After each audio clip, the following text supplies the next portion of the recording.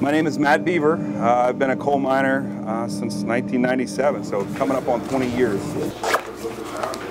You gotta want to do it. I mean, you gotta want to. You gotta want to work. You know, I've talked to some miners that've been laid off and they go to other jobs and they're bored. You know, they get bored. The, the work, your work ethic that you get from working in a mine is like no other. You know, uh, you really you have to want to do this. Not too many people can do it. You know, it's it's a it's a special takes a special special breed of person. All right, bud, head in.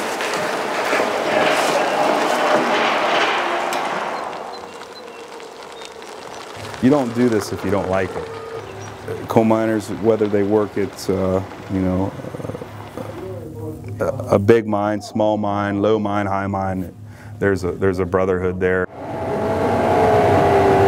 I think that coal uh, a lot of times is forgotten, um, but I mean the big picture is power.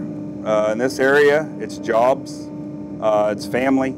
You know, not only does it provide cheap, efficient power, and we have a lot of it, uh, it provides great jobs.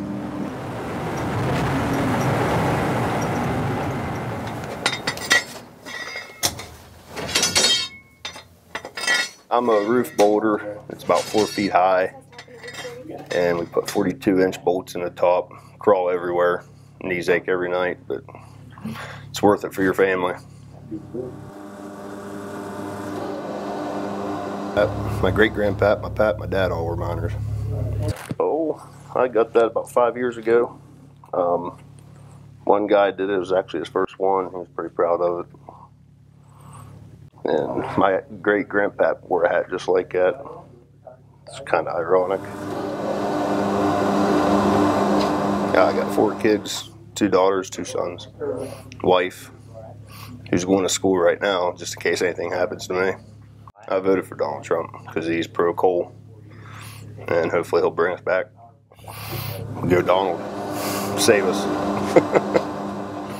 uh, when I first started, we ran one section, two shifts, was about 50 guys up until about a year and a half ago, and coal just kind of fell off, and right now I believe there's 13 of us left. But uh, hopefully, hopefully things turn around and we can get get those other 50 guys back to work. Uh, it makes it provides a good living, it's good, honest work, and uh, I think sometimes we lack that in our in our country. You know, and you know, you're not going to get it for free. You know, you got to work for it, and I think that's what uh, coal mining will put that into you. I have three boys, um, 15, 12, and 10. It's provided a great life for uh, for me and my family, and allows allows my kids to to participate in, in a lot of different things and and uh, kind of you know, it makes it nice. For the past 20 years, I've been able to say that, I mean, knock, I've never been laid off. You know, now it's a little scary.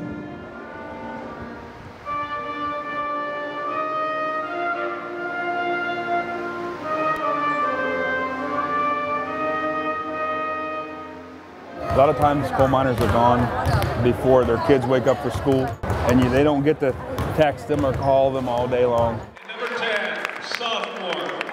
Dylan Beaver, also injured in that plane tonight. This is what you work for. This is what, you know, we, at least me as a, as a father, I want to I wanna be able to see all my kids stop. You know, and I, and I want to be able to let them have every opportunity to go ahead and do anything and everything they can.